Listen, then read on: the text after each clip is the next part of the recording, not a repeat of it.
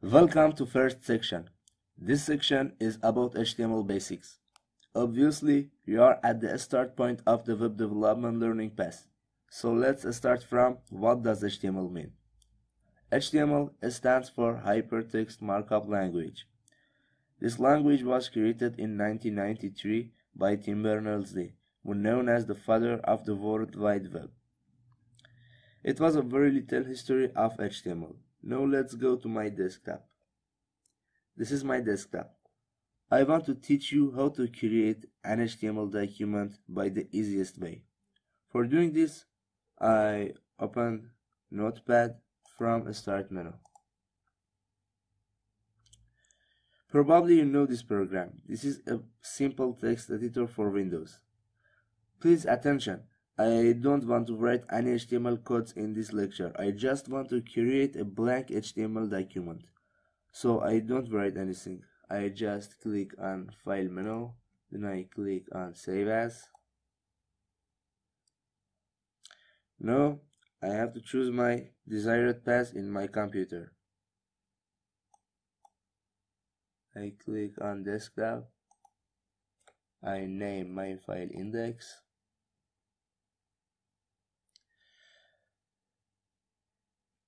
Now I have to write my document type. I write .html.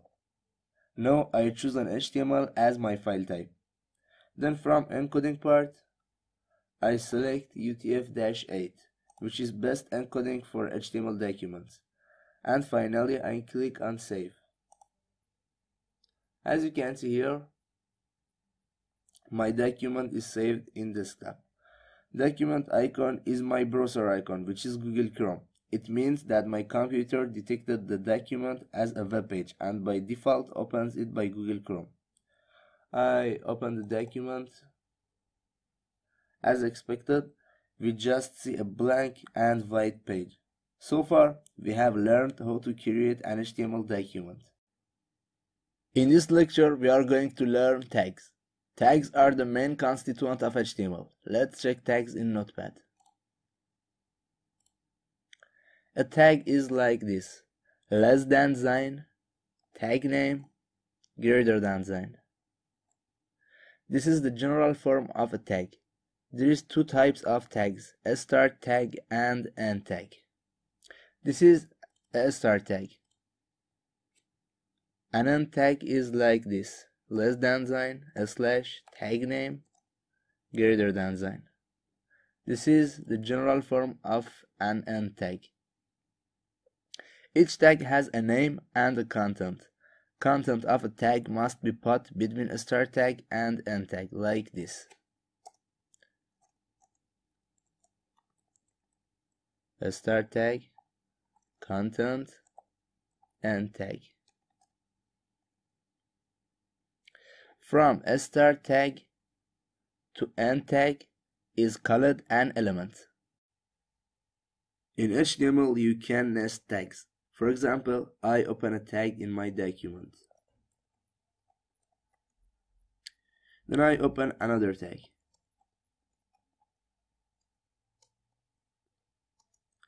Now I close them in correct order.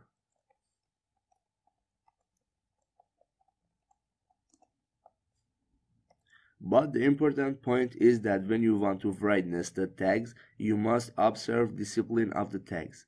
For example, when I open first tag, then I open second tag, I can't first close first tag like this.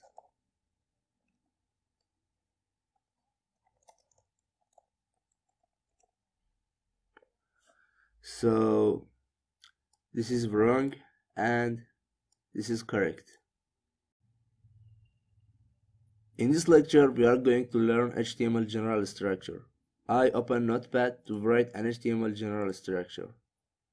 HTML codes starts by a tag called HTML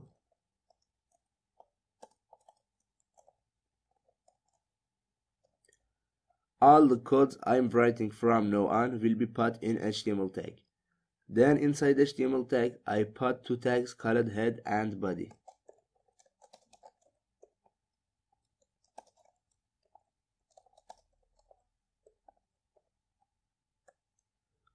To understand browsers that our webpage use the 5th edition of HTML, before all the codes, I write less than sign, exclamation, tag type, HTML, greater than sign. Well done. This is general structure of all web pages in the world. Other content of web page must be put inside head tag and body tag. In the body tag, things which are to appear in web page will be put, like text, images, and anything that you can see in a web page. But in the head tag, some comments about web page behavior will be put. For example, there is a tag for inside the head tag which refresh the web page every few seconds. Now I save this document in my desktop as HTML.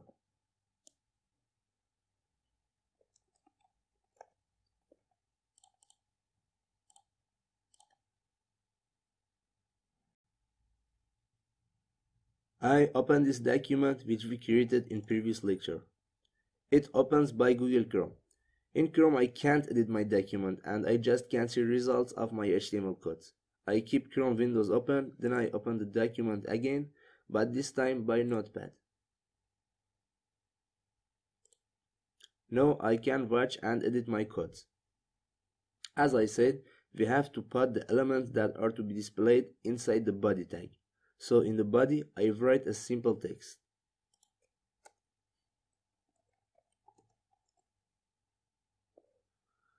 Now I save this by press Ctrl and S.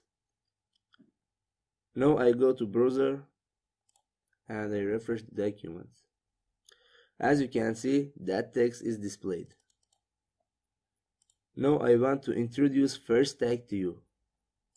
That is B tag. This tag bold its content. So I put this text inside the B tag.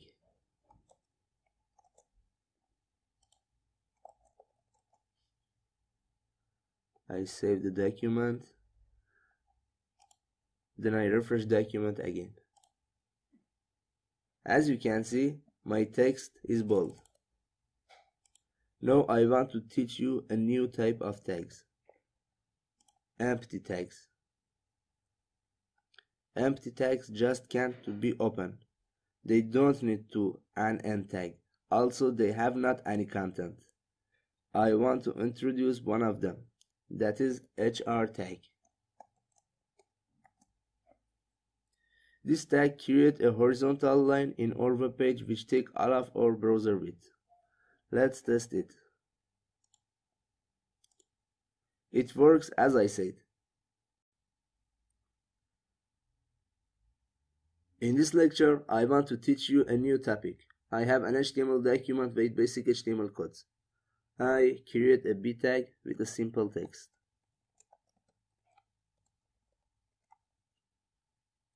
In HTML, there is something called attributes. Attributes are used for tags. Each tag has some special attributes that we can use them.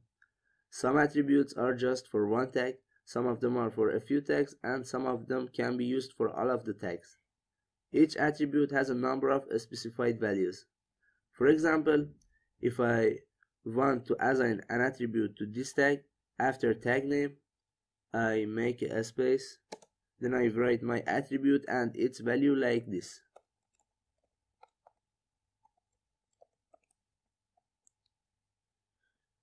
but this is just an example and there is not an attribute called attribute. I want to introduce the first attribute to you which is content editable. There is two values for this attribute, false and true. I write this attribute.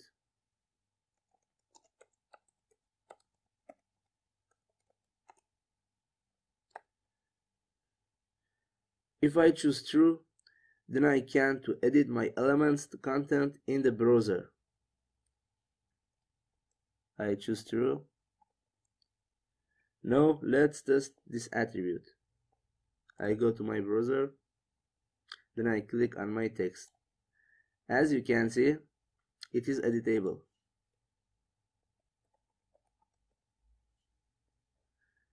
There is a type of attribute which have not any value. This tag called boolean. There is a boolean attribute called hidden. I use this on the b tag.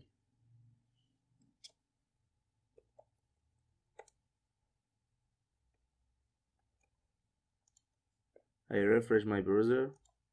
As you can see in results, this boolean attribute can hide an element.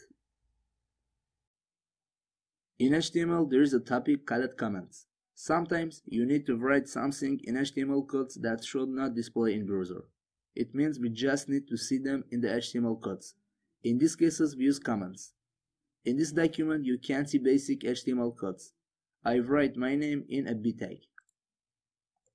My name is Alex Garden. Well, now I write the following text is the instructor name. I don't want to show this text in results, or better to say browser. So I turn this text into a comment. For this work, before the text I write less than sign, exclamation, dash, dash. And after the text I write dash, dash, greater than sign. It means that you should write your text between this and this. Now I save it and I go to my browser. As you can see, that text is not displayed. Welcome to second section. As you know, this section is about basic tags and its attributes in HTML. So let's start it. First tag is p. p tag is used to create a paragraph.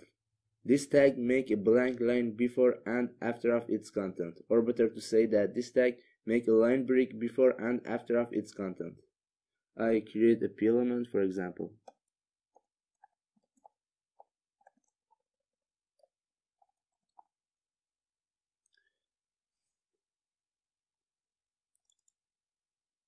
As you can see, there is a line break before and after of this content.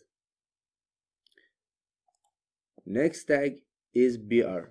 This is an empty tag which create a line break. When I write something in HTML code, then I go to the next line by pressing enter, you can't see this line break in browser. So when I create a line break by pressing enter in HTML codes, this is just working in HTML codes, not in the browser. So when I want to create a line break, I should use a br tag. I give you an example. I write two texts and I press enter between them.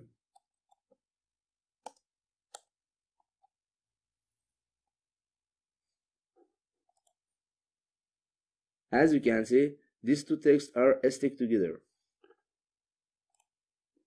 Now I create a BR tag between them.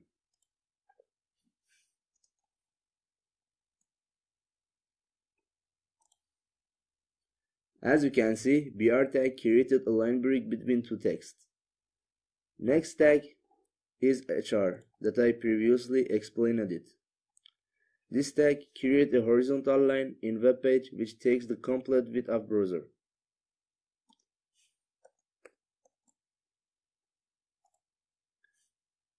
Excuse me.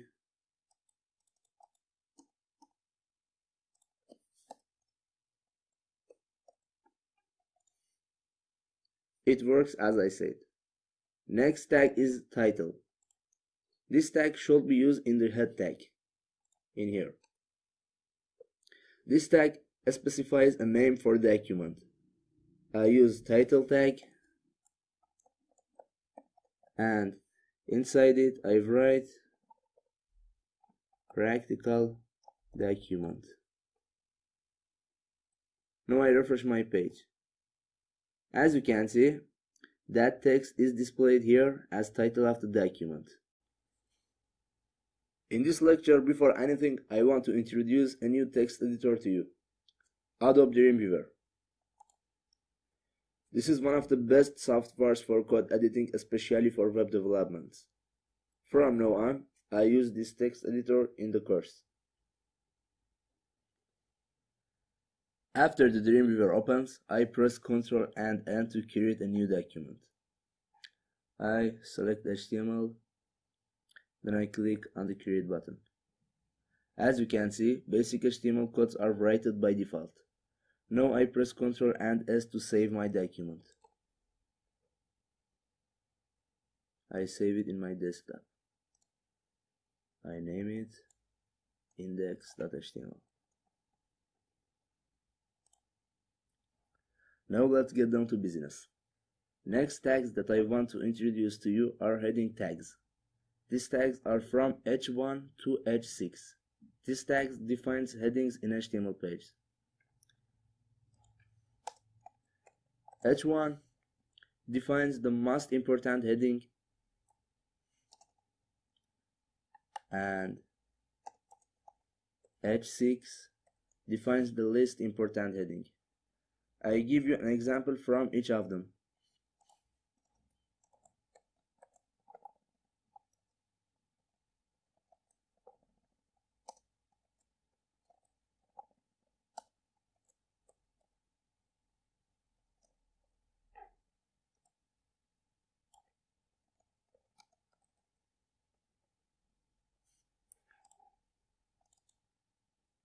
As you can see, their sizes range is from large to small. Next tag that I want to teach you is ABBR. Suppose you have a text in your page and you want to show some text within the most hour and element. For this case, you should use ABBR tag. You must put your desired text inside an ABBR element. Then you have to assign an attribute called title to the ABBR element and give this the text which you want to show when the most hour the element. I write WHO as main text. And for the text which will be shown when the mouse over the main text, I write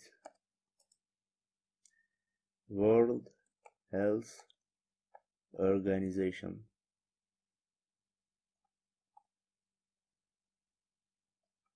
Now let's test it.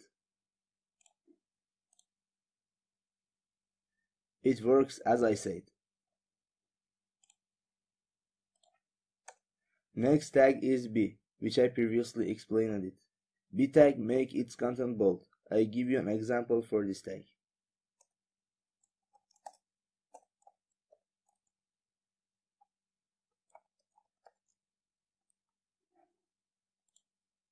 It works as I said.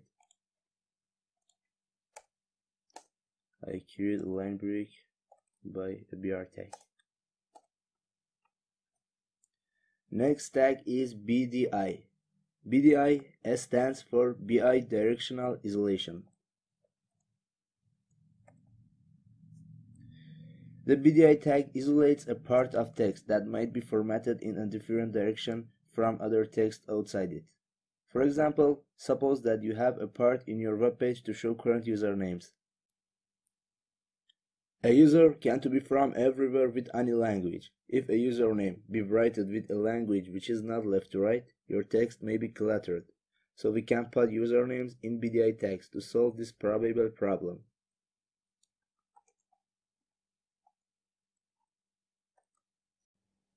As I said, some attributes in HTML can be used for every text. These attributes are called global attributes. In this lecture, I want to start introducing these attributes to you. First global attributes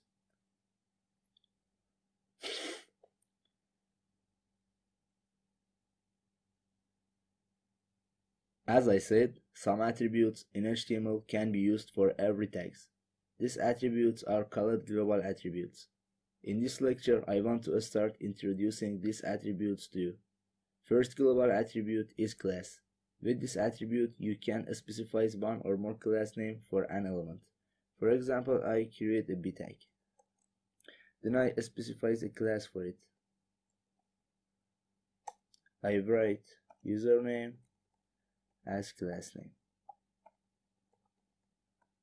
If you want to specify more than one class for an element, you can separate classes with a space like this.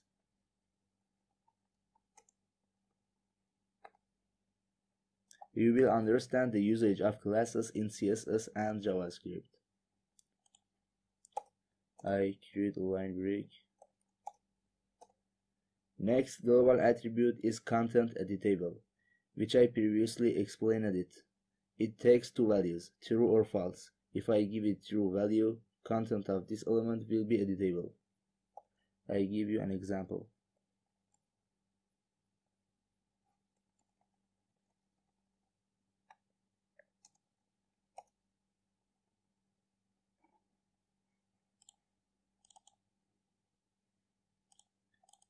It works as I said.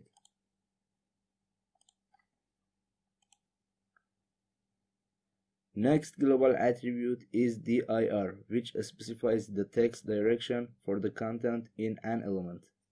This attribute takes two values, LTR or RTL. LTR stands for left to right and RTL stands for right to left. We are writing English, so I give it LTR as value.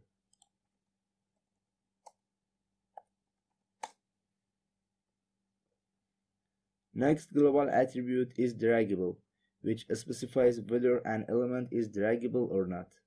Value of this attribute can be true or false. If it be true, the element will be draggable. I give you an example.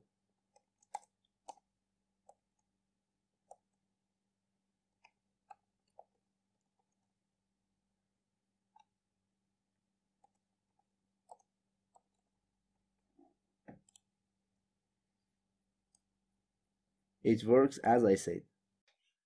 Next global attribute is hidden, which previously I explained it. This is a boolean attribute which hide an element. For example, I create a b tag with a simple text.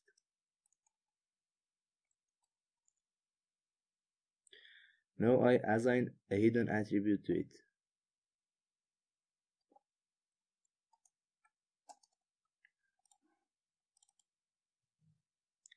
As you can see, that text is hidden in the browser.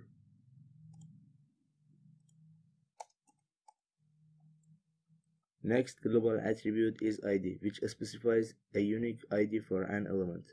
Each element can only have one ID. I give you an example.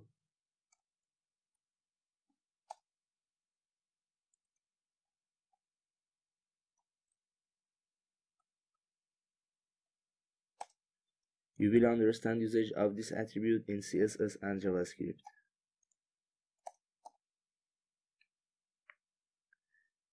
Next global attribute is lang, which specifies the language of the element's content. Each language has a two-letter code. I'll give you a txt file that all languages codes are written in it. You can download this file from documents of current lecture. Usage of the lang attribute is for SEO topic. I give you an example.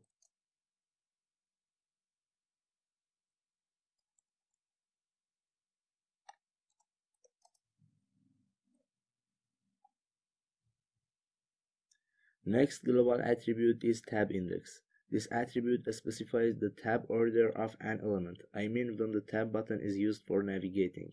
For example, I create three p elements.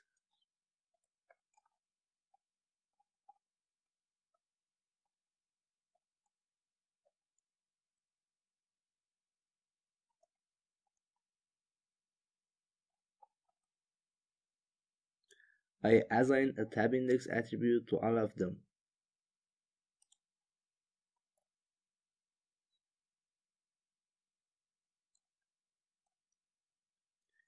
I set third tab in third tab index for first p element.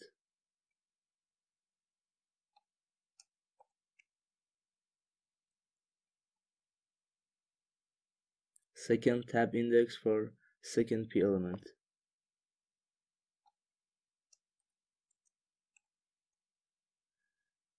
And first tab index for third p element. Now let's check it. I am pressing tab button and as you can see p elements will selected in the order I set it. So far we have learned all global attributes. From next lecture we will continue text formatting tags. As I said, from this lecture onwards, I continue text formatting tags topic. Next tag is cite. the cite tag defines the title of a work. For example, I write Titanic movie by James Cameron distributed in 1995 97 in this text Titanic is the title of the work so I put in the cite element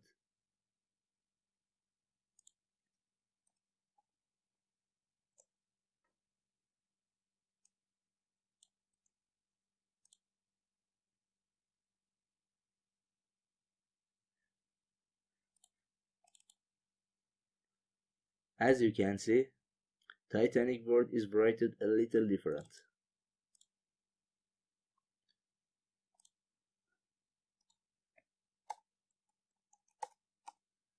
Next tag is I. The I tag defines a part of text in an alternate voice or mood. The content of the I tag is usually displayed in italic. I give you an example from I tag. I write my name is Alex Garden. Now I put Alex Garden in the I element. Excuse me.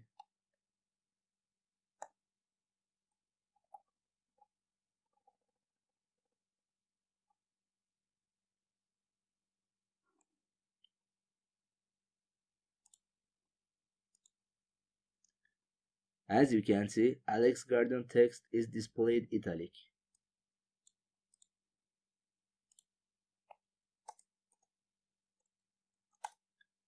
Next tag is EM. We can put an emphasis text in this tag. Visually, this is like the I tag because this tag also make its content italic. I give you an example.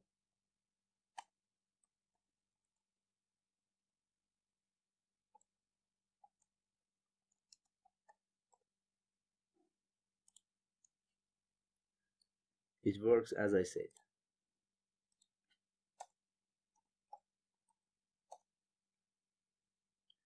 Next tag is called a string.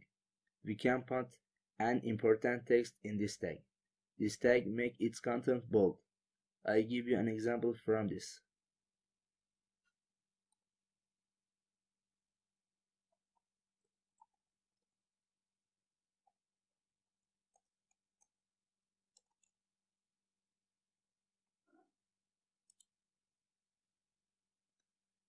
As you can see, my desired text is bold.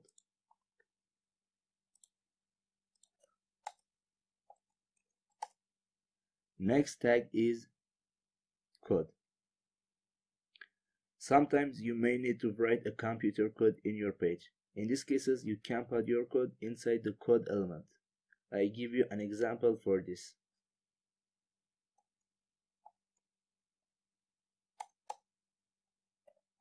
I write a piece of code with PHP programming language.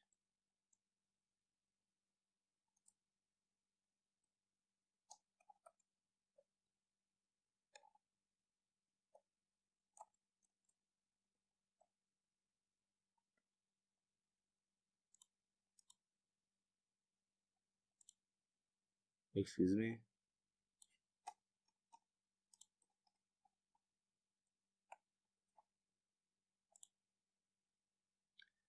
It nicely works.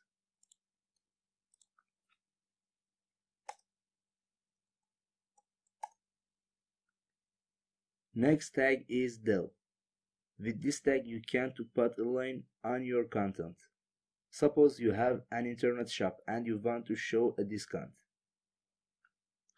I put price before discount in the del element.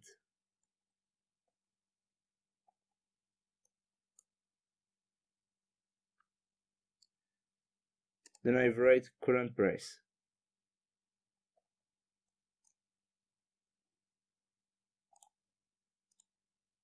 As you can see, it nicely works. Next tag is INS. This tag creates a line under its content. I give you an example. It works as I said.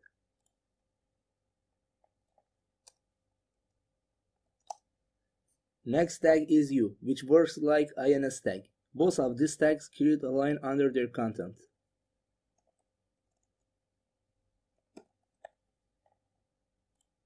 It works as I said.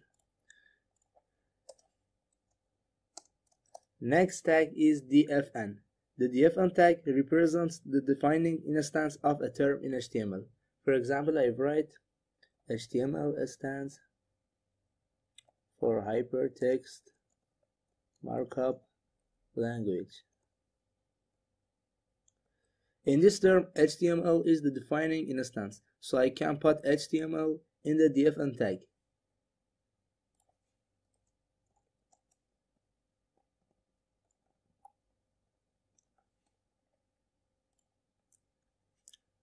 Also, this tag make its content italic.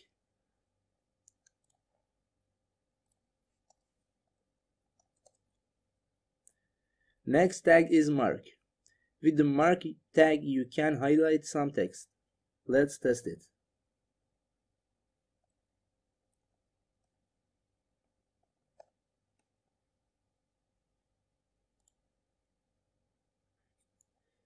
As you can see, the content of the mark element is highlighted with yellow color. Next tag is PRE. Take a look at my HTML codes. I write one word, then I make a few spaces, then I write another word. Now I go to browser. As you can see, I just see one space between two words.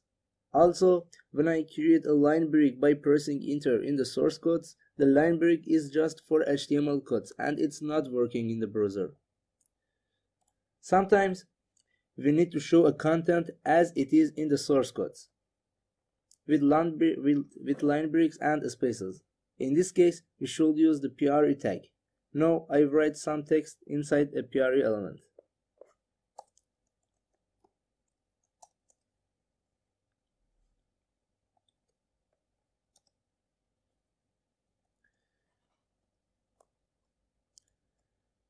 I make a few spaces between two words.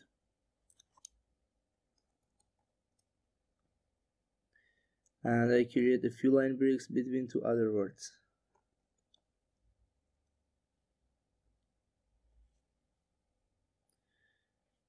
Now let's check the results. As you can see, this is just like the source codes. Next tag is a small.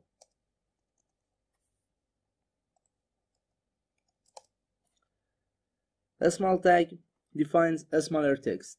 For example, I write my name is Alex Garden. Then I put Alex Garden inside a small element.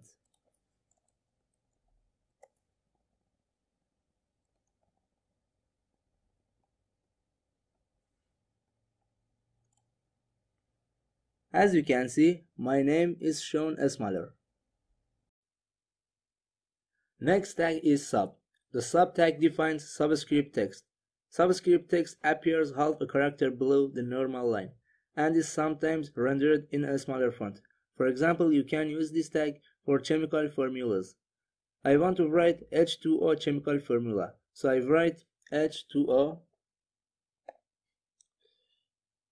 Then I put number 2 in the sub element.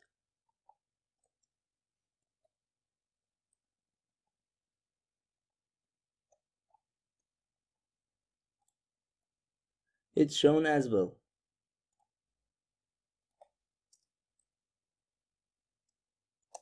Next tag is SUP. The SUP tag defines superscript text. Superscript text appears half a character above the normal line and is some, sometimes rendered in a smaller font. Superscript can be used for foot fonts, like this example that I am writing.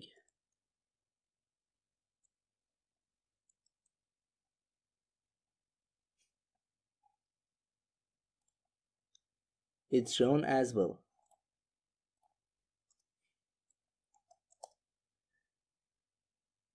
Next tag is WBR, which is an empty tag.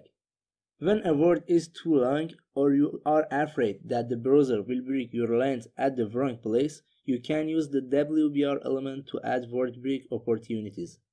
I give you an example.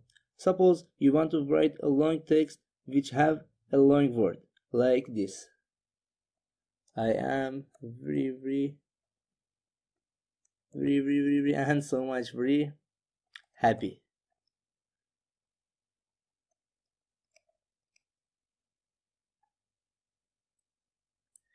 You can put a WBR tag in any place of the word. For example, I put the WBR tag in here.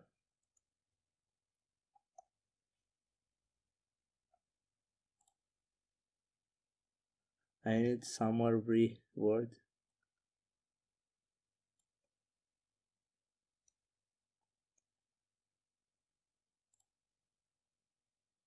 Some more.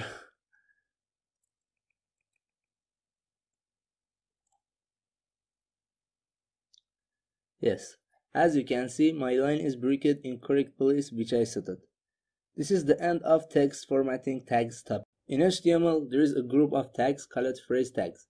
In HTML, a phrase tag is used to indicate that a block of text has a structural meaning.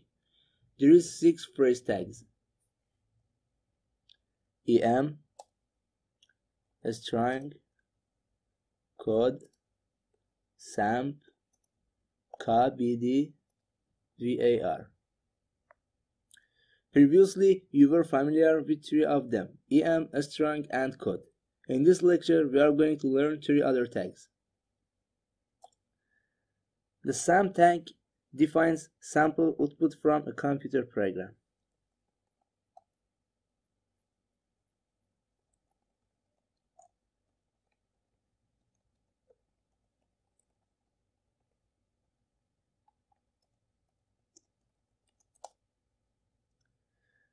The KBD tag defines keyboard input.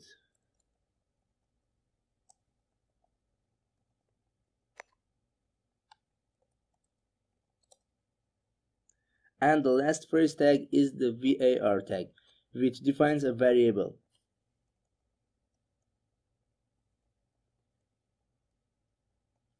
I want to say something based on my experience. Phrase tags are almost useless, so don't keep your mind busy for these tags. In HTML, there is a group of elements or tags called semantic. A semantic element clearly describes its meaning to both the browser and the developer. In this lecture, I want to teach you HTML semantic tags, which their only usage is for SEO topic. Using the semantic tags can optimize your site in the search engines. Their explanation doesn't matter, so I fastly introduce them. The first semantic tag is article, which you can put the text of your article in this tag.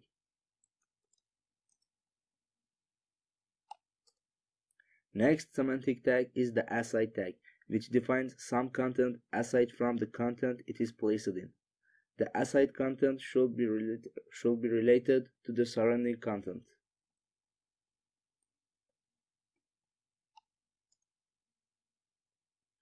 Next semantic tag is the details tag. The details tag specifies additional details that the user can view or hide on demand. I give you an example from this tag.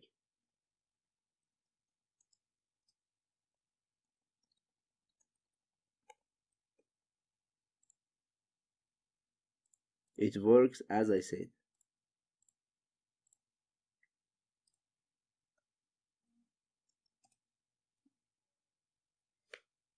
Next tag is figure.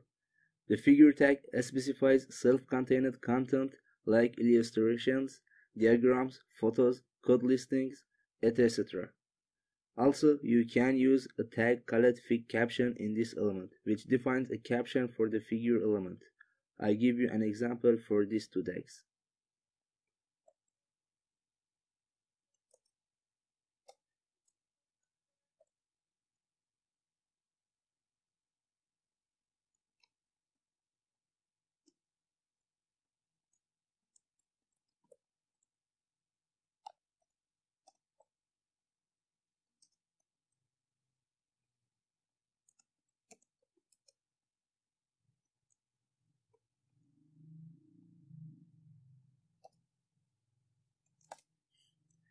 Next semantic tag is header. Any site has a header. Header is a part of page which is placed in the topmost part of page. For example, I go to w3schools.com website. This part that I move the cursor over is the header of this page. The header part is fixed in every page of a website.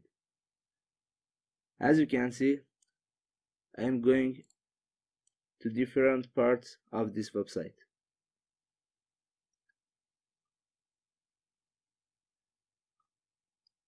As you can see, header is the same. We should put the header of our page in the header element. So, this is usage of the header tag.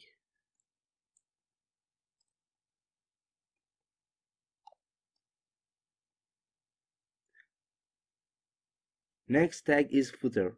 Any site has a footer too, just like the head, just like the header. As you know, footer is placed in the bottommost part of the web page.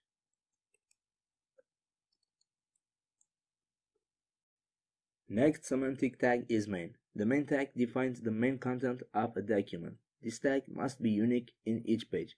For example, if your web page includes an article, you can put the article text in the main tag because obviously if a page has an article, it is main content in that page.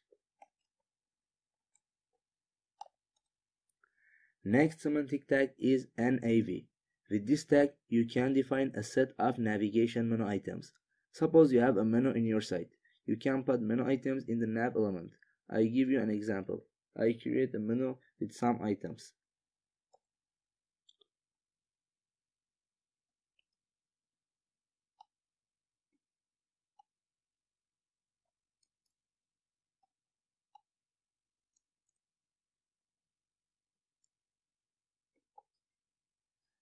Now I put the menu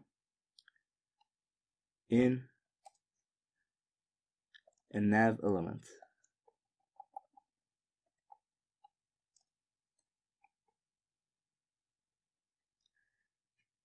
But we should put menu items in another tag that I didn't introduce that yet. The B tag is not a standard for this work. Next semantic tag is section, which defines a section. The section tag is usually used for creating a standalone content in the page.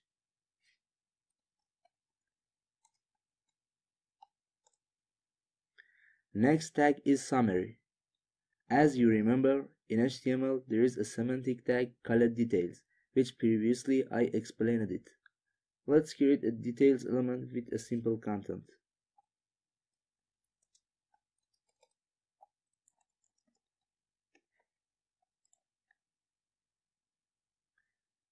As you can see, user can view or hide this content.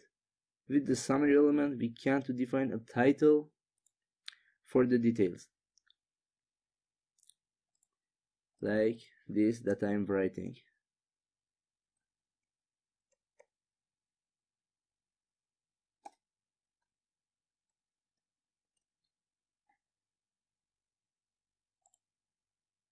Now my details element has a title.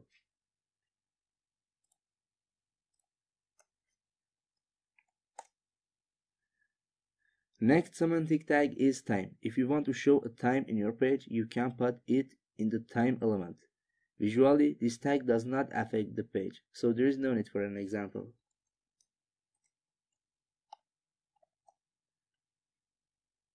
Next semantic tag is dialog. With this tag, you can to define a dialog box or window.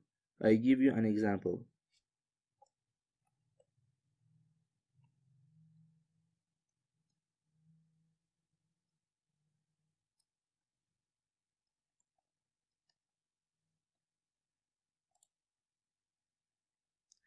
As you can see, the dialog element is not visible in the page because I should use a boolean attribute called open.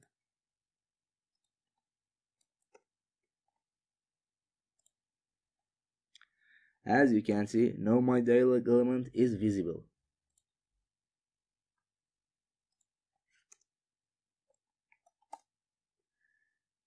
And the last semantic tag is address. If you want to write an address in your page, you can put it in the address element. Usually, this tag does not affect the page, so there is no need for an example.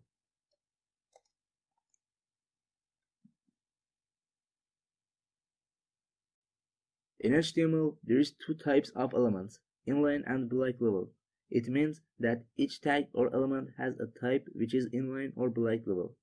What is different between them? First, let's learn about block level elements. A block level element always starts on a new line and takes up the full width of the browser.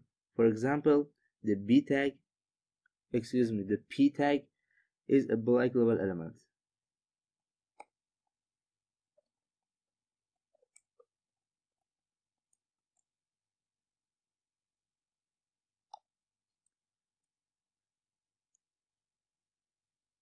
An inline element does not start on a new line and only takes up as much width as necessary. For example, the B tag is an inline element.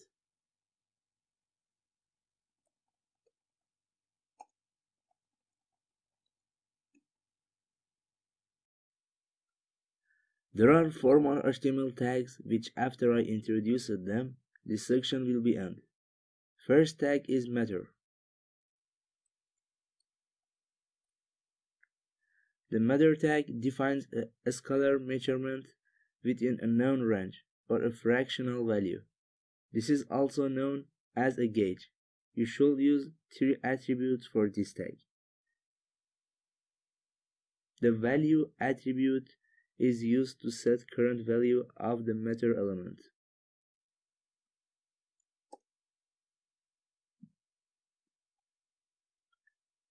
Two next values are min and max, which set the minimum and maximum value of the meter element.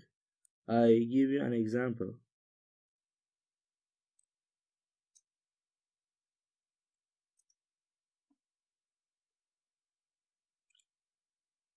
It works as I said.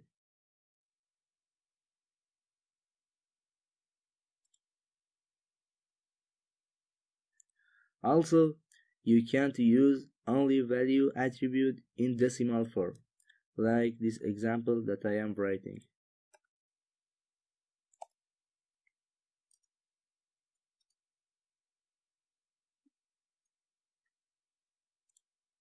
Yeah, it works.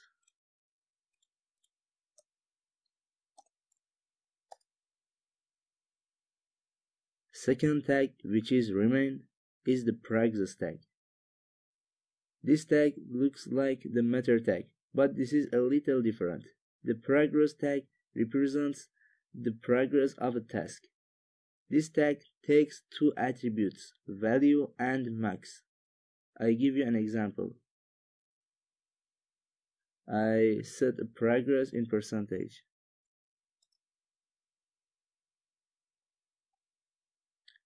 I set its current value 35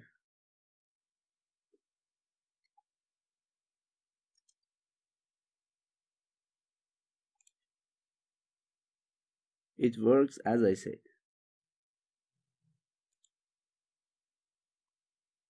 Also, you can to dynamically move this progress bar with JavaScript codes.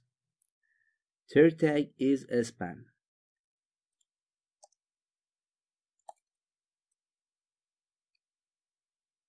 The span tag is used to group inline elements in a document.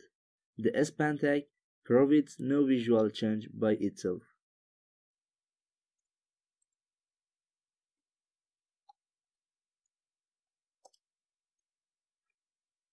And the last tag is div, which might be most useful tag in HTML.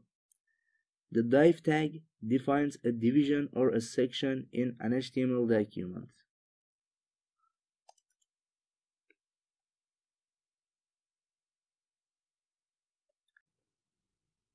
Welcome to the third section. As you know, in this section we are going to learn working with links. In a web page, you can't go to another page using links. Even you can't go to a file like image or video using links.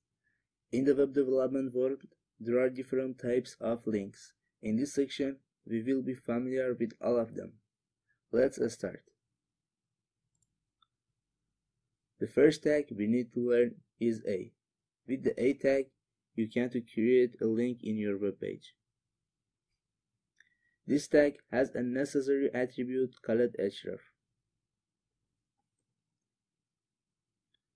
href attribute specifies the URL of the page or file the link goes to. For example, I give the Google address to the href attribute. Don't forget to write HTTP in the URL.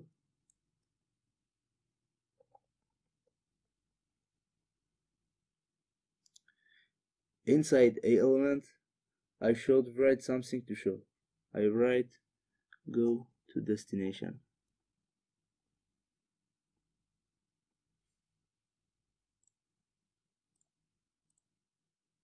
As you can see, it works well.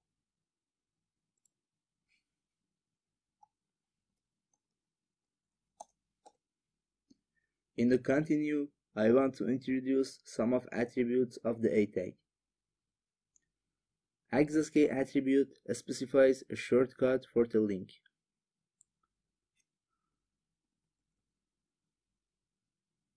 For example, I said H for this attribute. Now, if I wanna go to the destination link, I can press Alt and access key which I set it, means H.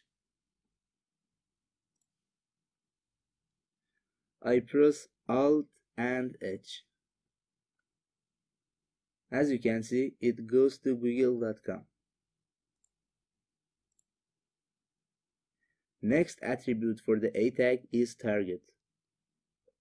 There is four values for this attribute, but currently we just learned two of them. One of the values is underline self, which is default value. If I set underline self, the link opens in current tab. Next value is underline blank, if I set underline blank, my link opens in a new tab.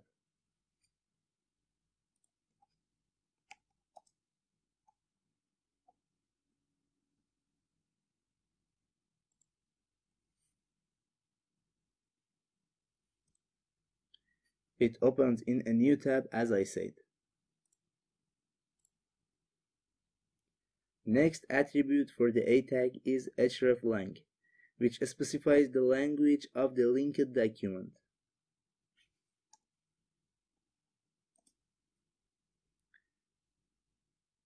It takes two-letter code of a language as value.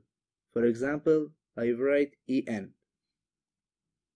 As I said before, the use of attributes or tag like this is not necessary and just may be helpful for search engine optimiz optimization.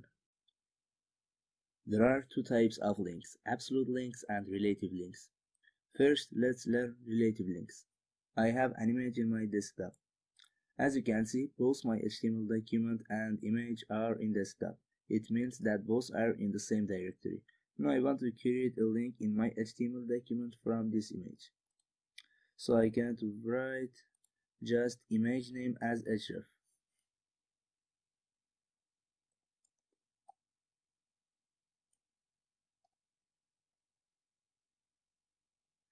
This is a relative link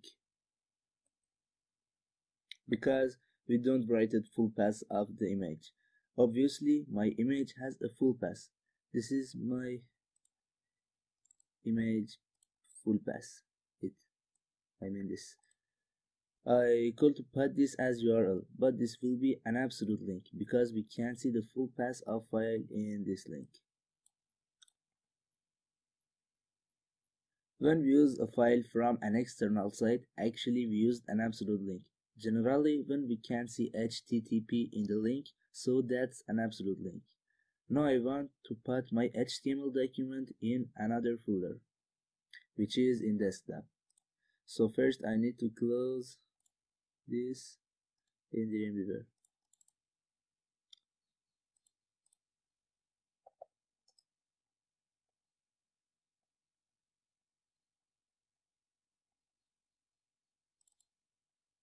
Again, I open it from new directory. Now let's test the image link.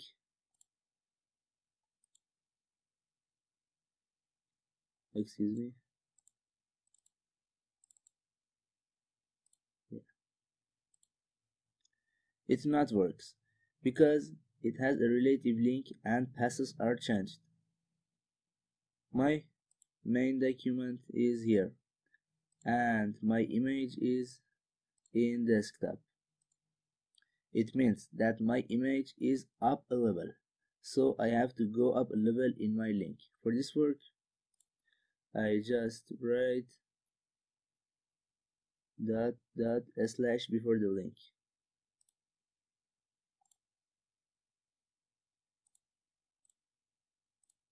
Now it works. So when we want to go a level up we should use double dot slash like this.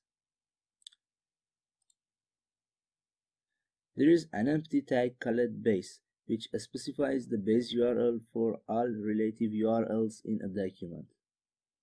The base tag must be inside the head element.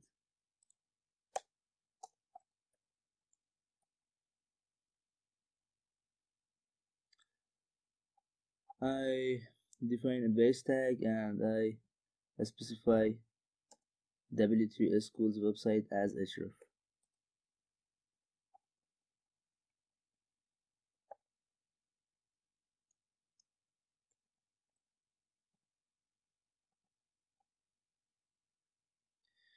Now, the base of all relative links is this URL.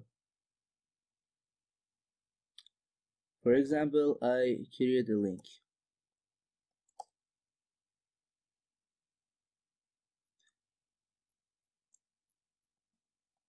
I specify image dot jpg as href.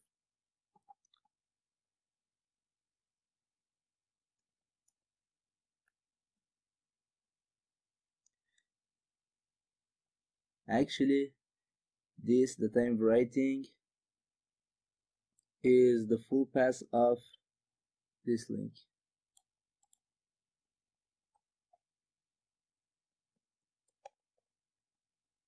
w3schools.com slash image dot jpg as a final point when you want to create a link with an absolute path. If your file is from internet you should type http colon double slash before the link. Like this. And if your link is from your local system you should specify your drive name like this. Drive name column double slash. This is how absolute links are detected. There are two more types of links. In this lecture, we are going to learn these two types of links. The first type of link are email links. We can create a link that when user click on it, an email software opens and the software is ready to send an email to the email address which we specify in the link. I create an A tag.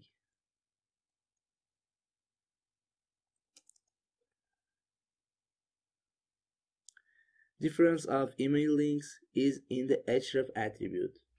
For email links, we should type mail to column then you should write your desired email i write myself email address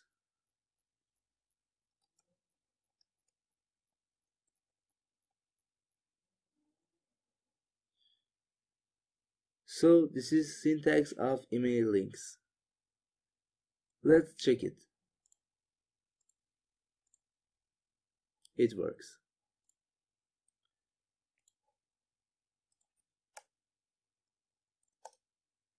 The second type of links are anchor links. The best example for usage of anchor links is the Wikipedia. I open a random page in Wikipedia.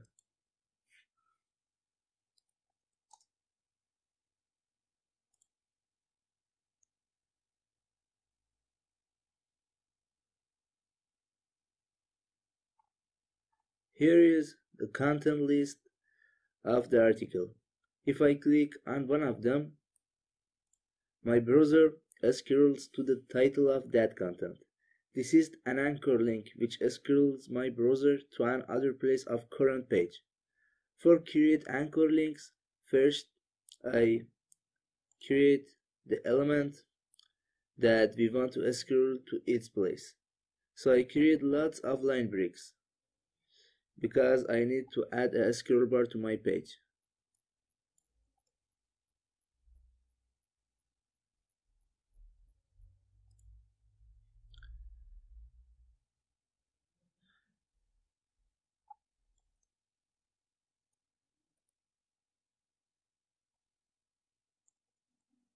This is my destination element.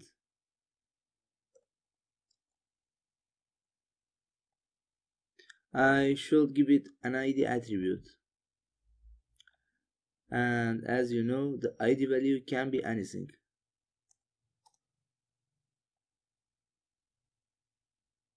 Now, at the first of page, I create an A tag to create an anchor link.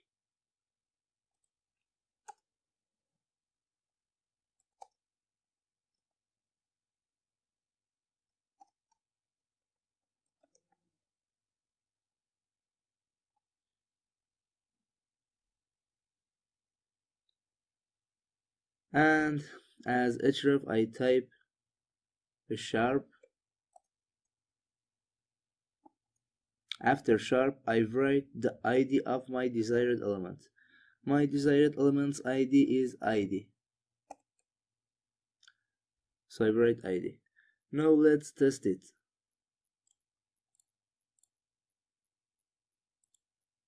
It works as expected this is the end of third section. Welcome to the fourth section. In this section, we are going to learn working with images in HTML. In this section, we will learn how to add an image to an HTML document. The first and only tag we need to learn is the img tag. This is an empty tag which let us to insert an image in an HTML document. The first and most important attribute of this tag is src, which specifies the URL of the image. I have an image on my desktop. I choose it.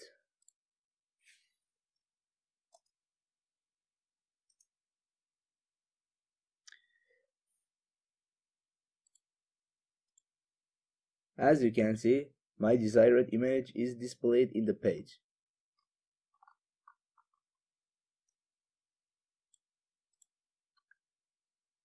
The next attribute of img tag is alt, which specifies an alternate text for the image. Use of this attribute is highly recommended because if the image does not load, this text will be displayed for users.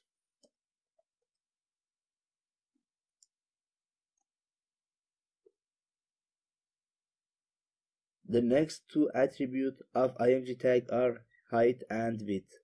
Height specifies the height of image in pixels and width specifies the width of image in pixels. I set both of them 200.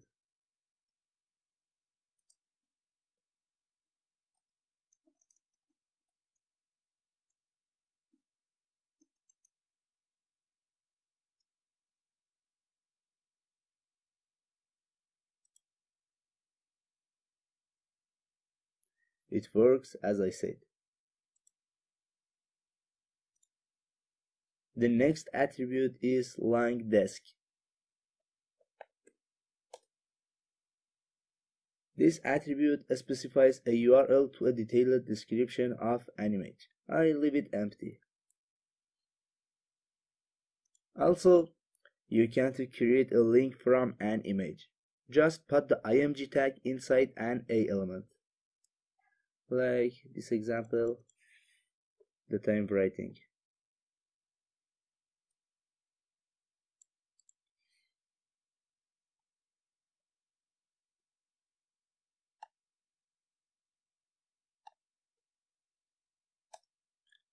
I set Google address as href.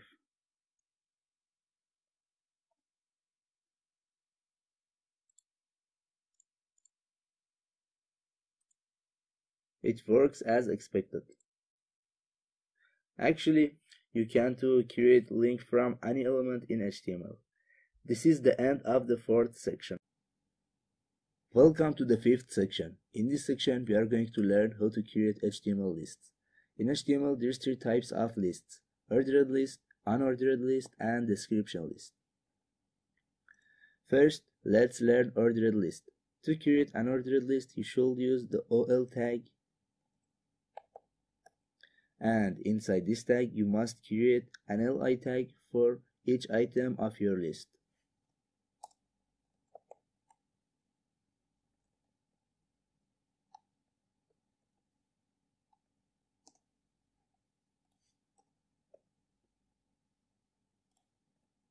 Look at this example. As you can see, my items are marked with their numbers. So this is an ordered list. Let's check the OL tag attributes. First and most important attribute of the OL tag is type. There is four values for this attribute. If you specify lowercase a as attribute, your, your list items will be marked with English lowercase.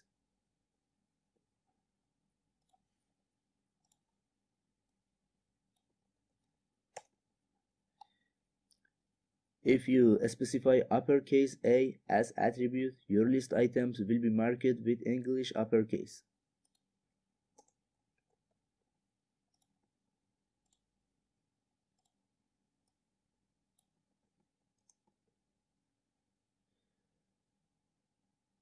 If you specify lowercase i as attribute, your list items will be marked with lowercase Roman numbers.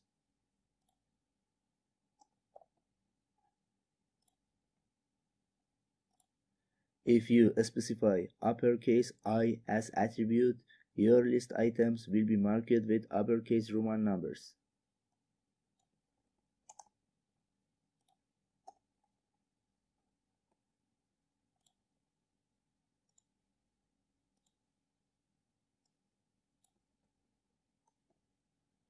and the default value of this attribute is 1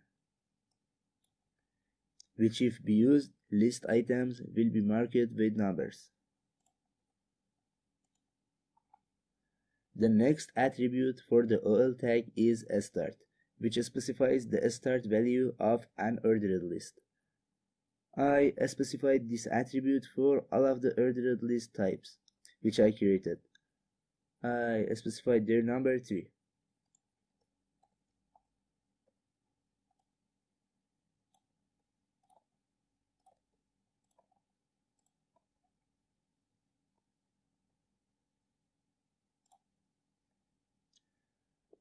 As you can see, all types of ordered list starts from third case. And the last attribute for the OL tag is reversed, which is boolean, and if we use list order will be descending.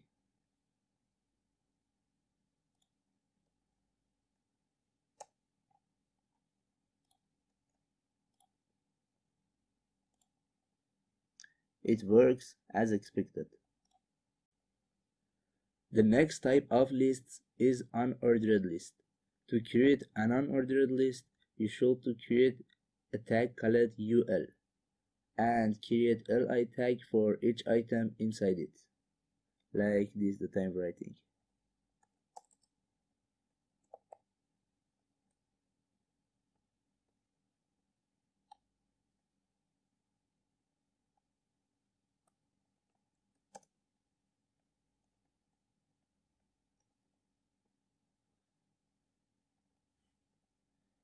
As you can see, in this unordered list, items are marked with a bullet.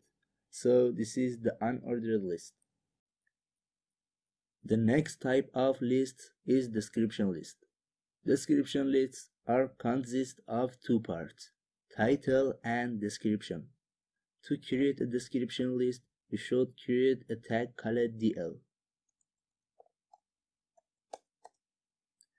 Inside the DL tag, you can use two tags.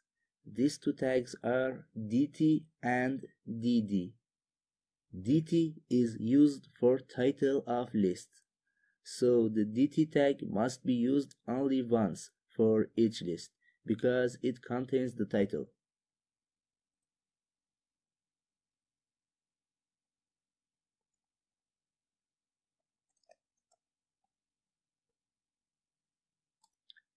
DD tag is used for descriptions. You should create a DD tag for each item of your list.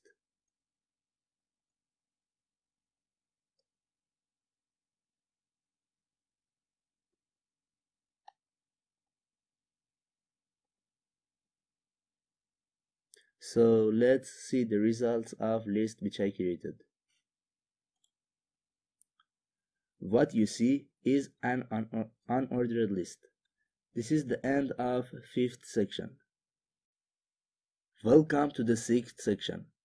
In this section, we are going to learn HTML tables. To create a table, you should create a tag called table. Inside the table element, you must use a tag called tr to create each row. I create four rows.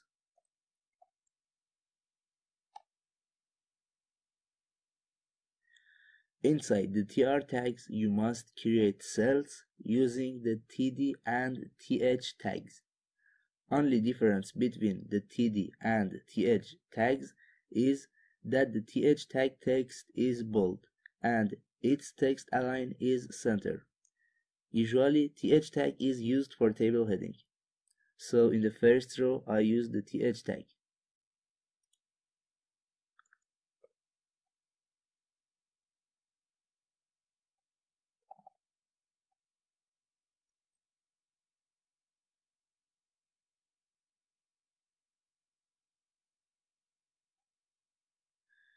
In other rows, I use the td tag.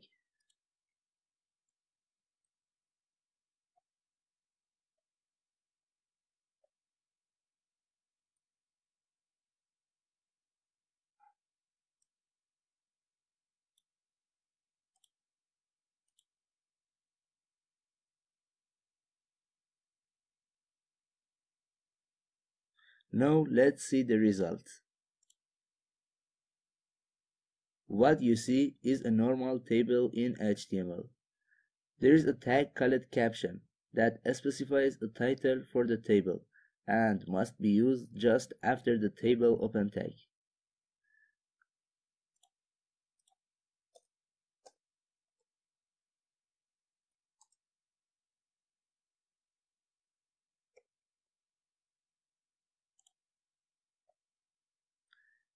Now, as you can see, our table has a title.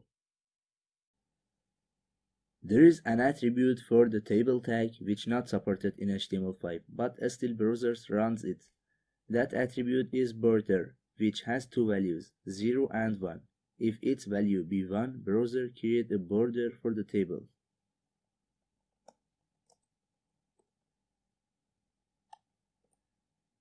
It works as I said. In HTML, you can grouping the tables in two ways, grouping by row and grouping by column. To grouping tables by row, you should use three tags, thead tag, tbody tag, and tfoot tag.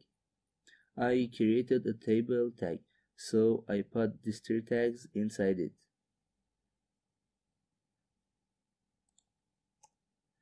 In the thead tag and tfoot tag, you can just put one row, but in the tbody tag, you can put how much rows you want. Let me complete this table.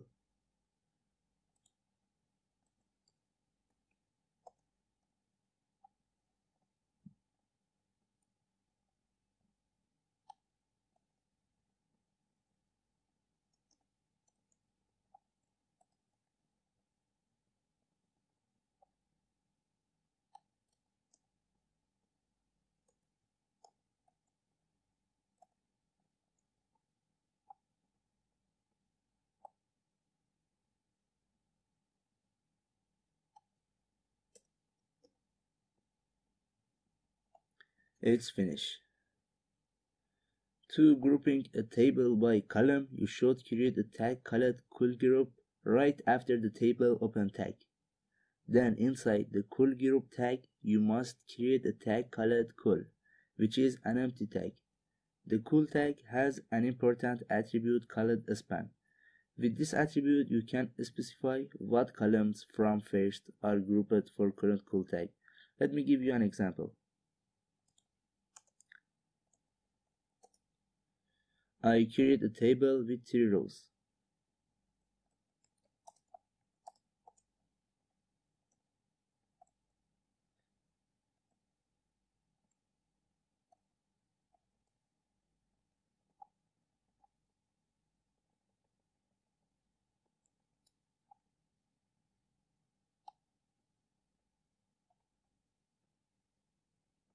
Each row has three cells. It means my table has three columns. I create a colgroup tag with two col tags.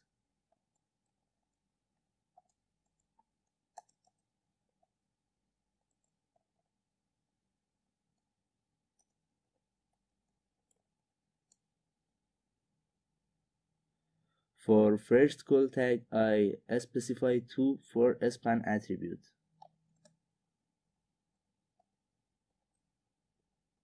And for second col tag, I specify one for a span attribute.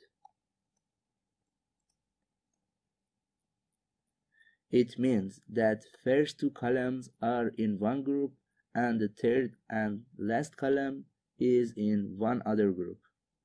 This is my table. May you ask what's its use? You will understand its usage in the CSS language. In CSS, you can to uh, specify a property for a group of rows or columns. This is the end of the sixth section. Welcome to the seventh section. In this section, we are going to learn HTML forms. It may be most important topic in HTML. What's a form? You deal with forms every day. When you send a comment in a site, login in a site, or register in a site, actually you work it with a form. For example, when you want to login in a site, usually you should enter your username and password and press the login button. A form like this that I said contains two text input and one submit button. I want to show you a form. This is Instagram website. Here is the login page. This is the login form which contains an input for username, an input for password, and a button for login which known as submit button in HTML.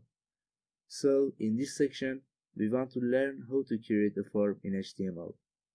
We start learning forms from next lecture. To create a form, first you should create a tag called form. All the form parts will put inside the form element. Let's check the form tag attributes. The first attribute of the form tag is action.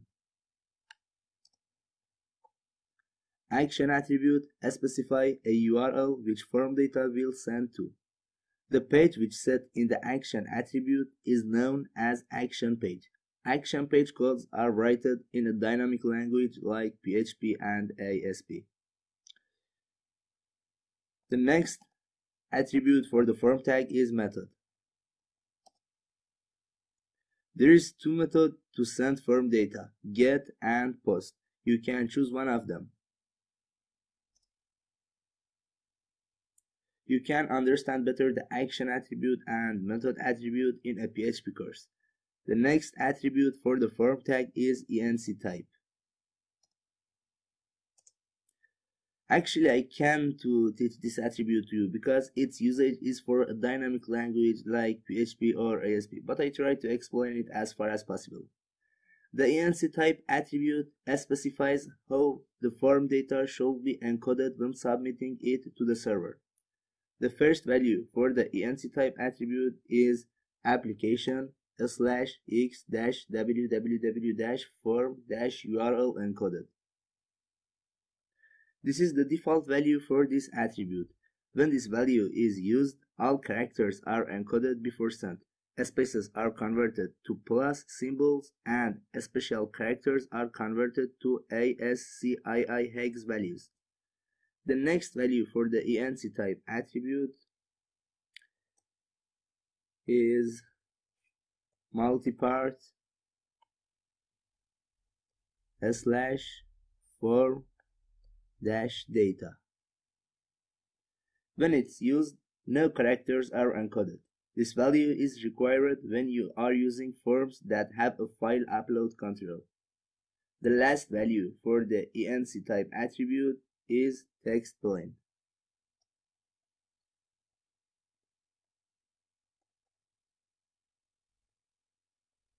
When this value is used, spaces are converted to plus symbols, but no special characters are encoded. I suggest that you don't busy your mind for these attributes which I introduced in this lecture because in Power HTML you never need these attributes. Learn these attributes in a dynamic language course like PHP.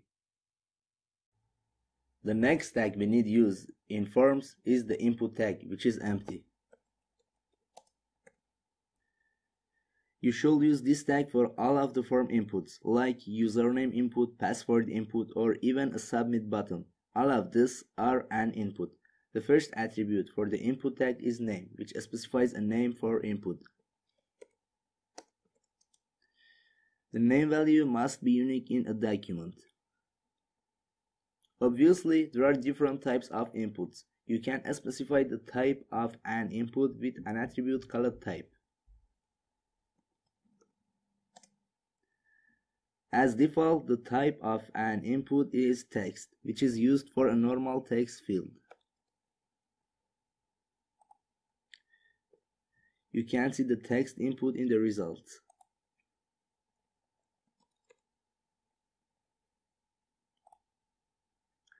The next value for the type attribute is password, which is used for a password field.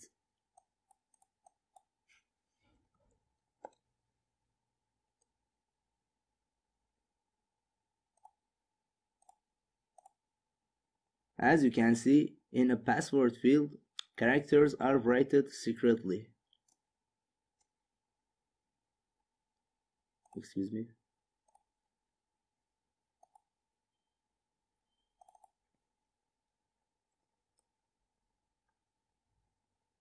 The next type of input is radio. The radio input is used to create radio buttons. A group of radio buttons must have same value. For example, I create four radio buttons with same name attribute.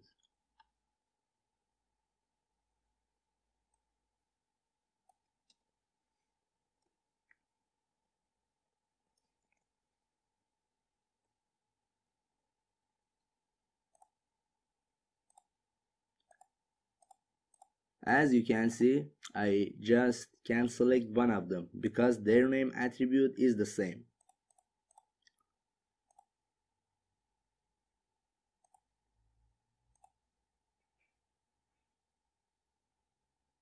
Excuse me.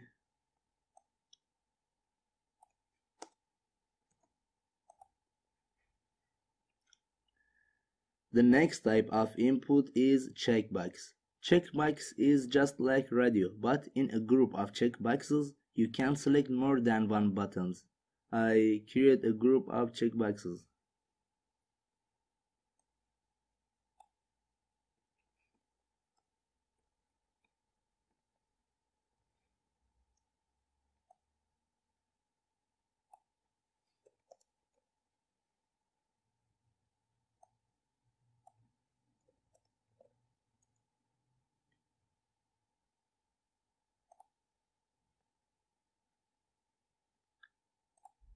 As you can see, I can select more than one button. The next type of input is submit. A submit input creates a button which is known as submit button.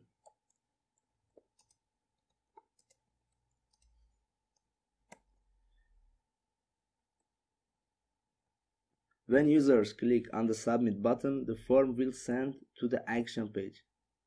For example, in a login form, login button is a submit button.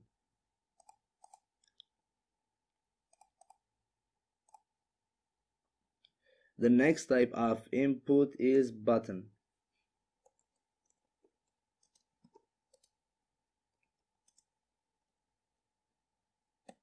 A button input creates a button which does nothing as default. You can specify a function for a button using JavaScript language. The next type of input is reset.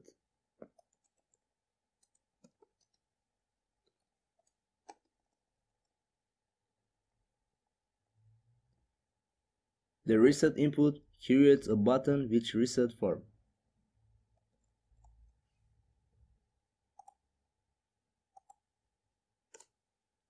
The next type of input is file, which defines a file select field and a browse button for file uploads.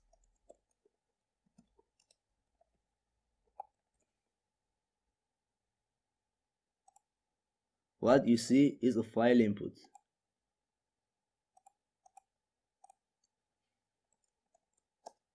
The next value for the type attribute is email, which defines a field for an email address.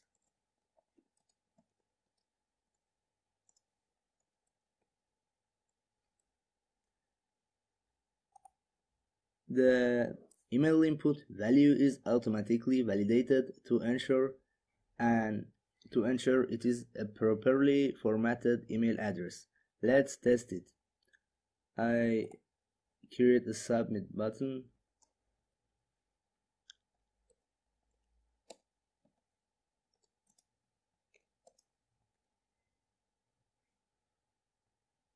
then I go to browser I enter a non-email text as you can see I can't submit the form because I enter a non-email text in an email field.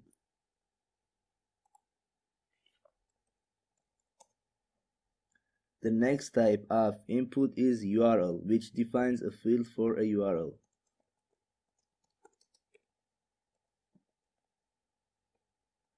The input value is automatically validated to ensure it is a properly formatted URL, just like email input.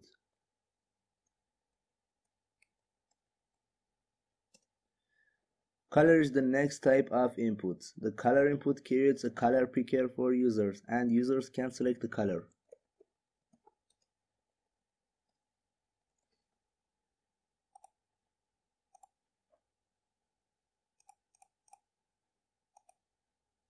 The next type is date, which let users to choose a date.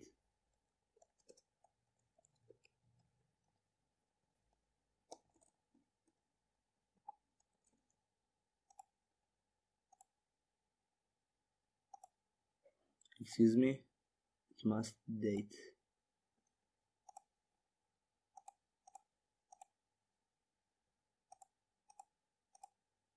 done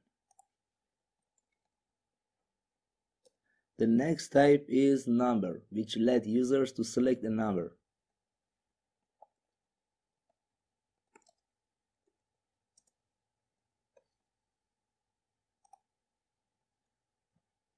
As you can see, this is a number input.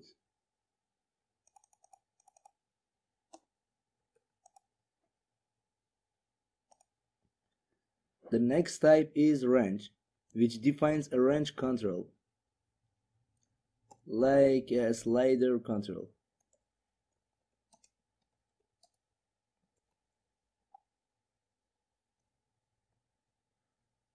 This control is for entering a number whose exact value is not important. When the type of an input is range or number, you can use some other attributes for the input tag. They are min, max, and step. With the min and max attributes, you can specify the minimum and maximum value for the input. I choose 1 as minimum and 10 as maximum.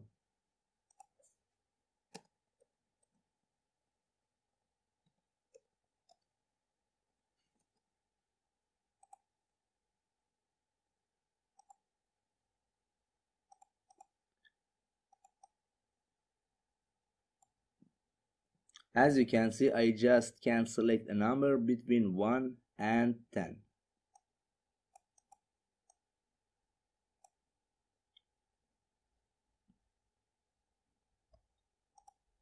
The step attribute specifies the interval between legal numbers in an input field.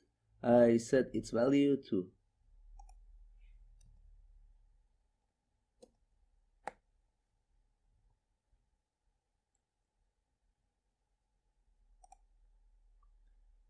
Now, as you can see, when I want to change the numbers, they move 2 by 2. There is no more values for the type attribute in the input tag. In this lecture, we continue learning attributes of the input tag. The next attribute of input tag is size, which specifies the visible width in characters of an input element.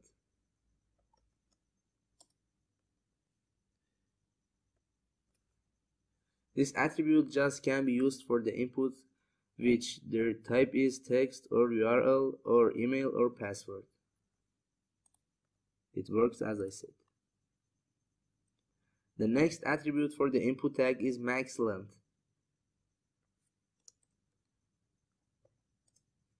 The max length attribute specifies the maximum number of characters allowed in the input element. The next attribute is checked. This is a boolean attribute. It just can be used for checkboxes or radio buttons. If it be if it be used for a checkbox or radio button when the page loads, that input is checked by default. Let's test it.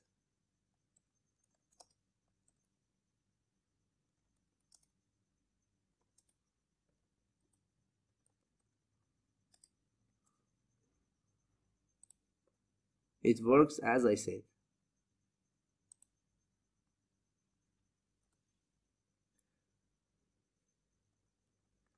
The next attribute is accept and just can be used for the file inputs.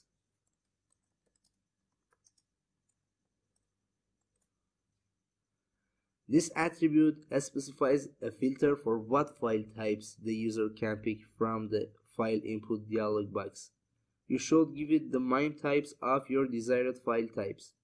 A MIME type is like this. Type a slash subtype. For example, the MIME type of a PNG image is like this. Image a slash PNG. Or MIME type of a MP4 video is like this. Video a slash MP4. Now I want that users just can select JPG and PNG image. For this work, I've read their MIME types and I separate them with the comma symbol.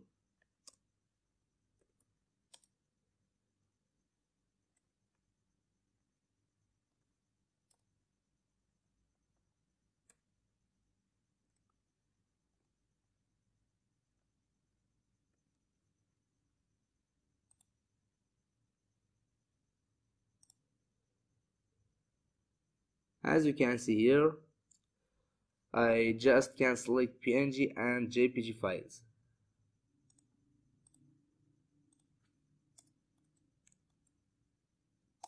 The next attribute for the input tag is value, which specifies the default value of an input. For example, I create a text input.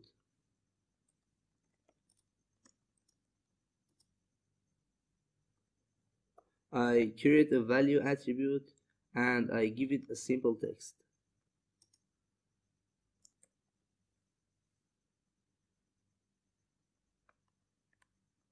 When I refresh the page, the default value is in the input.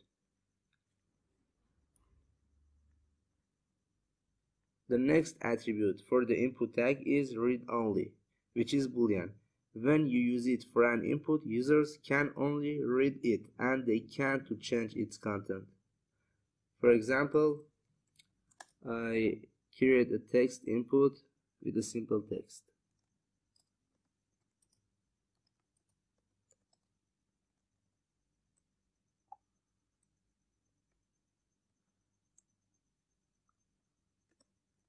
I use read-only attribute for this.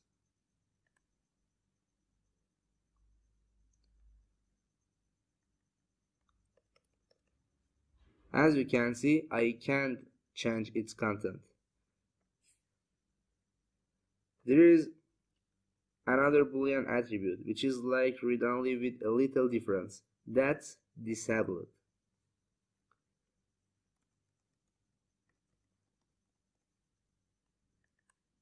Disabled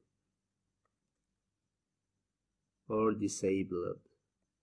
When you use it for an input, except you can't change its content you can't focus on it, its content.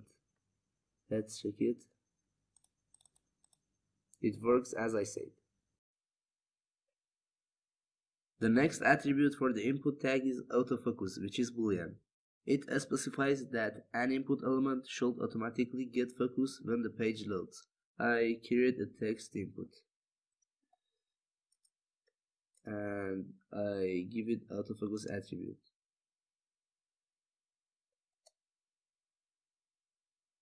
Now I refresh the page. As you can see, the input get focused by default.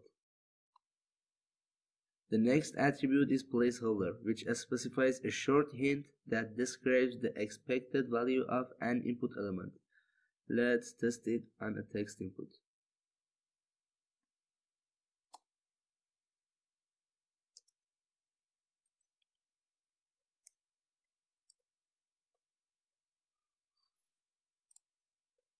It works nicely.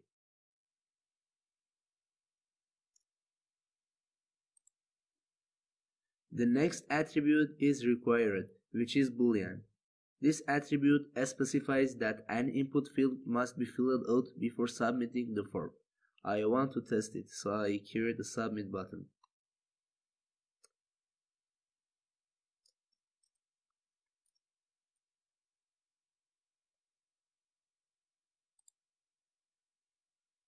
I I use required for this input.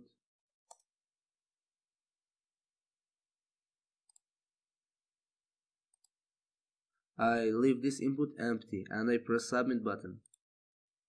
As you can see I can't submit button when this is empty. Excuse me I can't submit the form when this is empty When you want to change the text on the submit button or normal button input, you can use the value attribute. For example, I specify a value attribute for the submit input. I give it a simple text.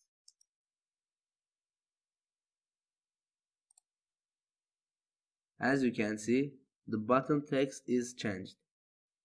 In this lecture, we want to create something called select box. Probably you worked with select boxes before. To create a select box, first we must create a select tag.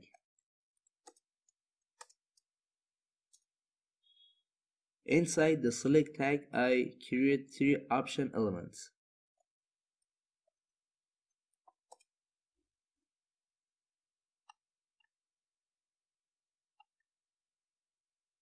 I specify a simple content for each option element.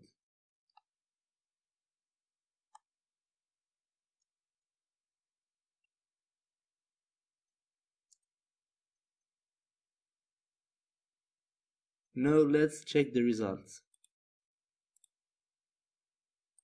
This is a select box. Actually, there is some input that can't be created with the input tag. They have their exclusive tags, like select box.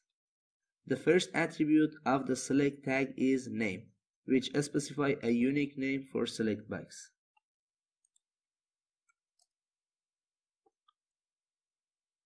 The second attribute of the select tag is size, which defines the number of visible options.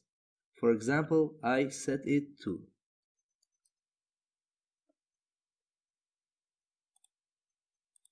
Now, as you can see, two options are visible. The last attribute of the select tag is multiple, which is boolean. If this attribute is used, then users can select more than one option in the select box. When you want to select multiple options, you should keep control button pressed.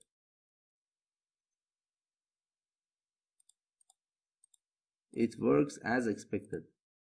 In next lecture, you will learn about the option tags attribute. The first attribute of the option tag is value.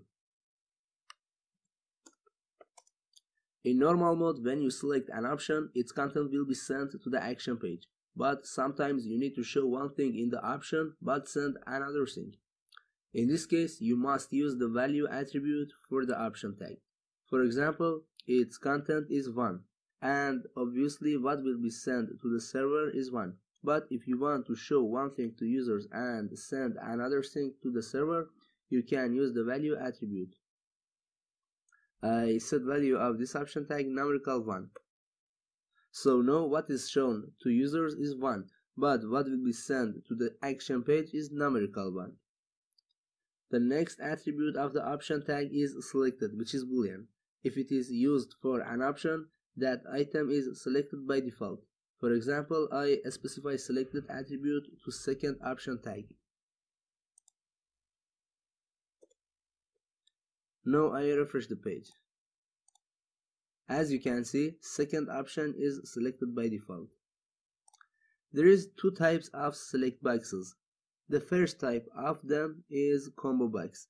Uh, this is a combo box because its items will be shown by clicking on it. But when you specify a size value for the select tag, it turns into a list box which is second type of select boxes. Let's test it.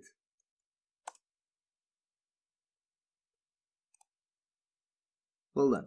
This is a list box.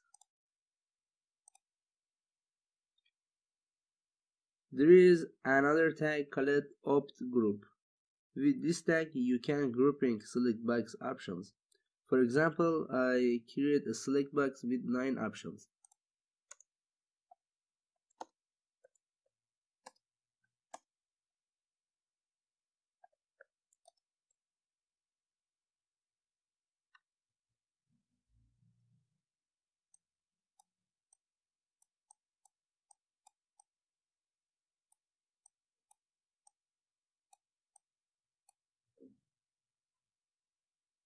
Now I divide them into three groups using optgroup tag.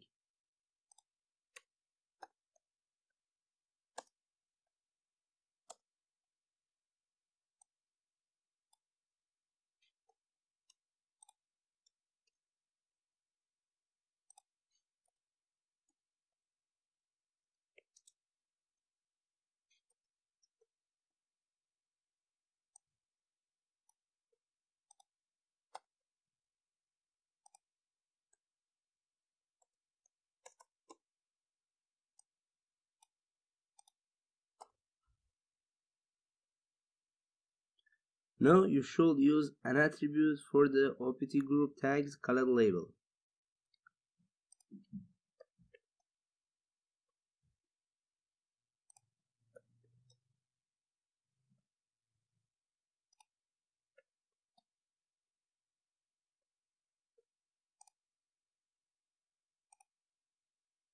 Yes. Now as you can see, they are in three groups of three. You are familiar with normal text input.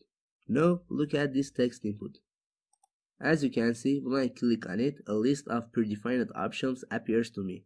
And when I type something, similar options remains. This is a data list. To create a data list, first we need to create a text input.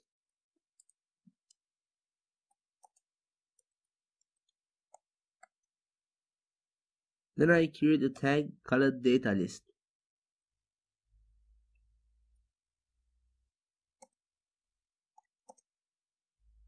I give it an ID called data. Now inside the data list element, I create an empty tag called option for each item.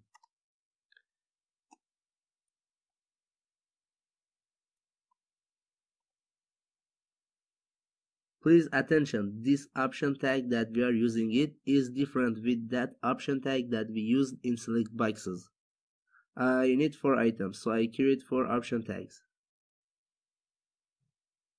We must specify the name of the options using the value attribute.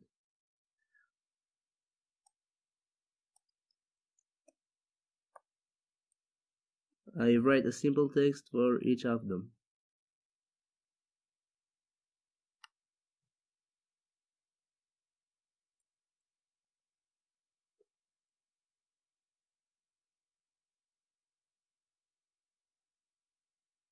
And finally, I should connect the data list to the input tag. For this work, there is an attribute for the input called list. It takes the ID of your desired data list as value, so I do it.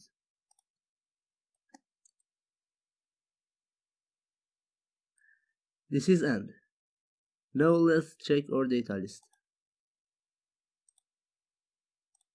It works as, as expected. This is the end of the seventh section. Welcome to the eighth section. In this section, we are going to learn how to use video and audio files in a web page using HTML5. You can put a video in your web page. As you have seen, YouTube has done it so far. To put a video in your web page, you must create a tag called video. Then inside the video tag, you should create an empty tag called source.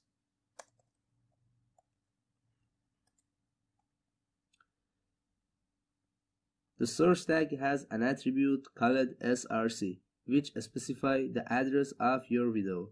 I have a video on my desktop called video.mp4. I write its name in the src attribute.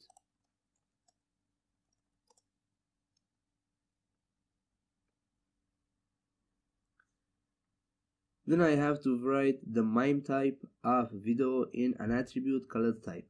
I do it.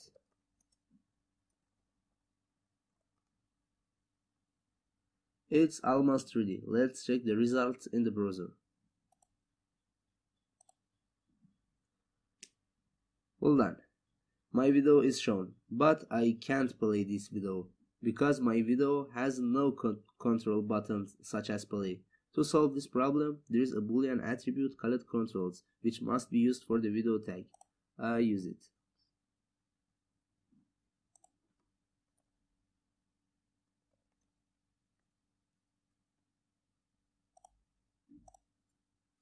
Now I can play this video. Also, I can see other controls. Oh, what a cute tag. You can also play an audio in your web page. To do this, just use an audio tag instead of the video tag.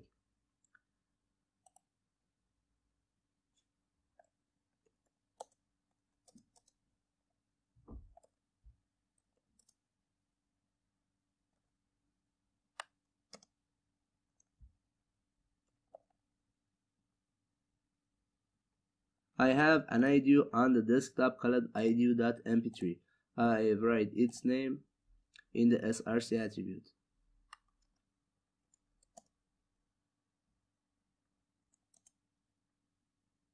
Now let's check it. As you can see, I can play the music.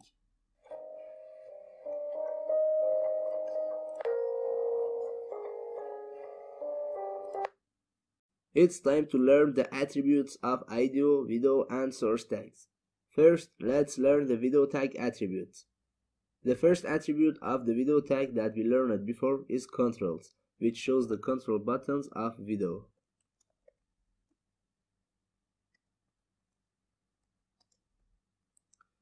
The next attributes of the video tag are height and width. As you probably know, this attribute specifies the width and height of the video in pixels. I said both 200.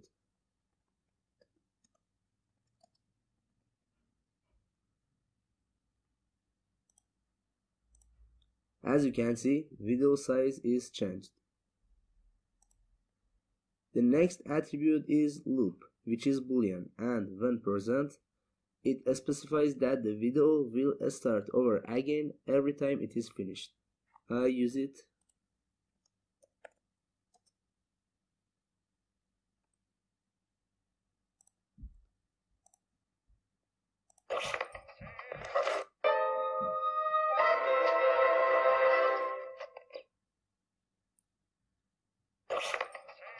yes.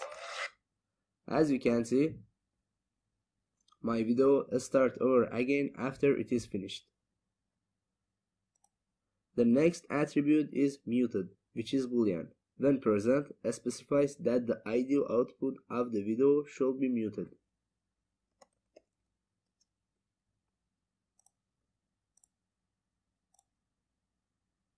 Yes it works The next attribute of the video tag is autoplay. If this attribute be used, the video plays automatically after the page has been loaded.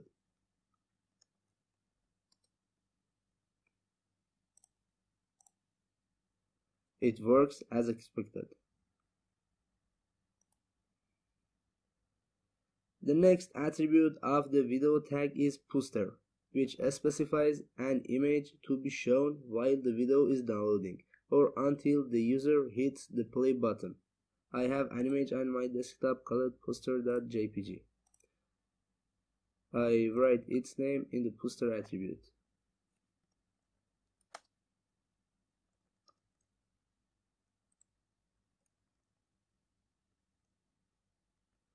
I remove autoplay attribute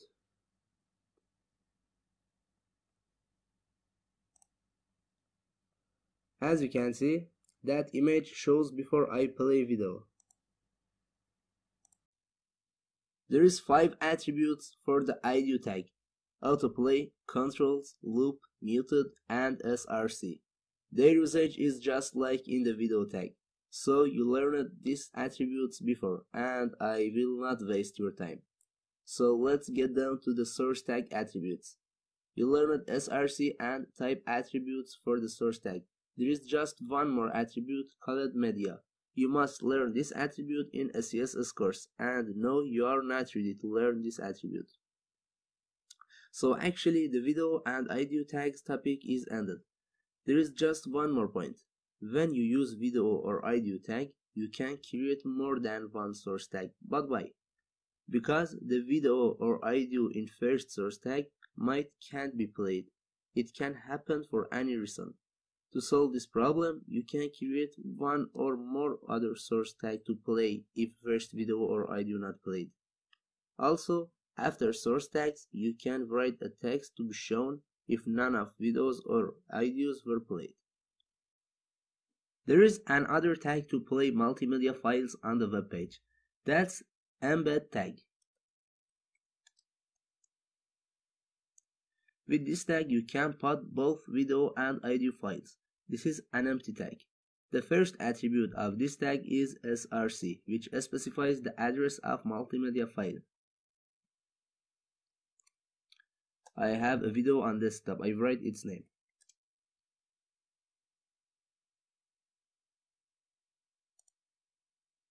As you can see, my video is displayed in my web page.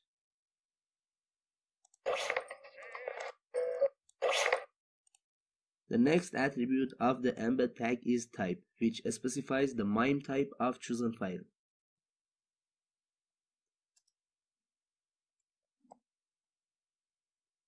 The next attributes are width and height, which specifies width and height of your video in, in, in pixels. I set both 200.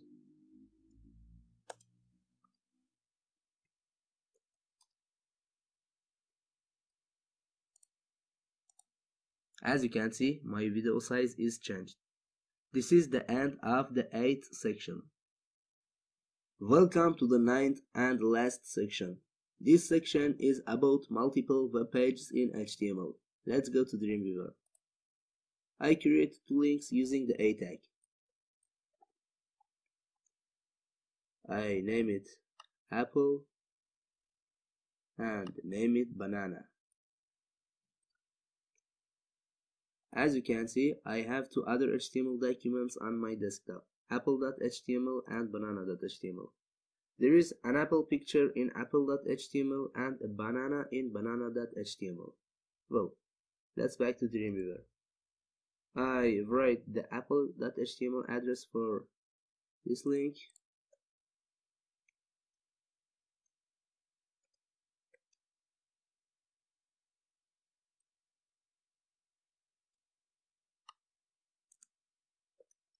and banana.html for this link.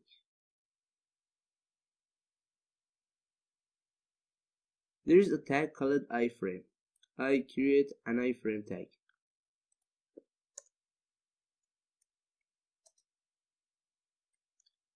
The iframe tag has an attribute called name. Its value can be anything. I write window.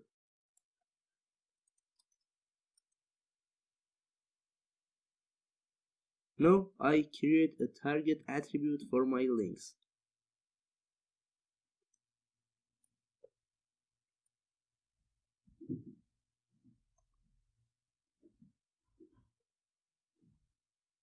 Now I give them the name of my iframe as value. Now let's check the results. I click on banana. As you can see, banana.html loads in iframe. Now I click on apple. Apple.html loads in iframe. So this is iframe. Also, you can specify width and height of iframe using the width and height attributes.